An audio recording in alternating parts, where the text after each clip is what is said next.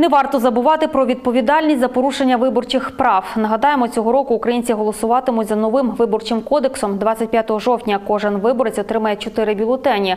Перший за депутатів місцевої ради, другий за голову ради окремої громади, тобто міського, сільського чи селищного, третій за депутатів районної ради та четвертий за депутатів Закарпатської обласної ради.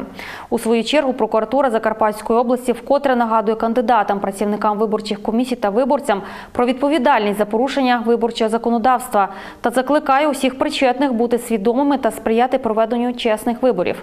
Нагадаємо, найбільше порушень виборчого законодавства та значну кількість фальсифікацій на позачергових виборах народних депутатів України 21.07.2019 року зафіксували в територіальному виборчому окрузі номер 69, до якого входить і місто Мукачево.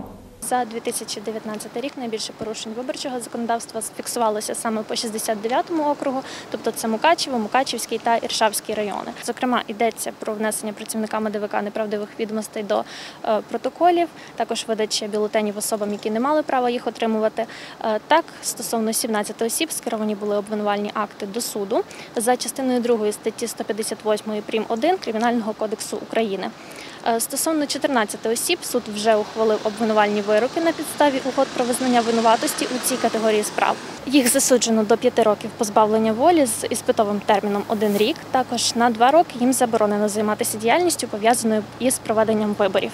На Закарпатті наразі розслідується півтора десятка кримінальних проваджень, які прямо або ж опосередковано стосуються виборчого процесу. Окрім того, поліцейськими складено 35 адміністративних протоколів за порушення виборчого законодавства. Стосовно прийдешніх місцевих виборів, станом е, на 15 жовтня до правоохоронців надійшло понад 180 заяв і повідомлень про порушення виборчого законодавства, ймовірне порушення.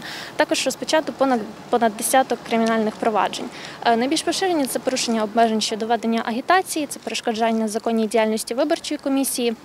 Реєстрація кандидатів-двійників, що кваліфікується як перешкоджання здійснення виборчого права, і одне з найбільш частих порушень, яке також фіксується і про яке повідомляють громадяни, це пошкодження майна, зокрема передвиборчих плакатів.